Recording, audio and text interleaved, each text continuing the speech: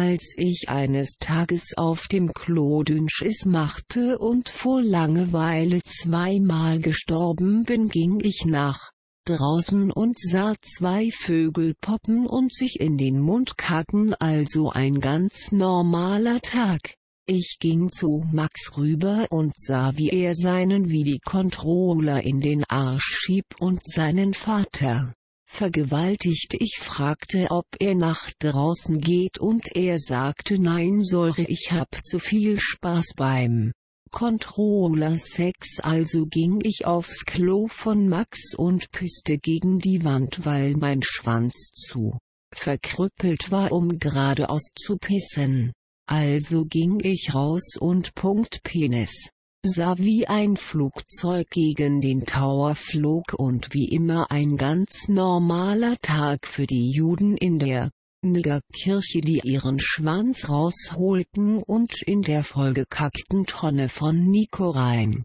masturbierten denn so fing seine Geschichte an von dem hässlichen Blaubarsch. Max stinkt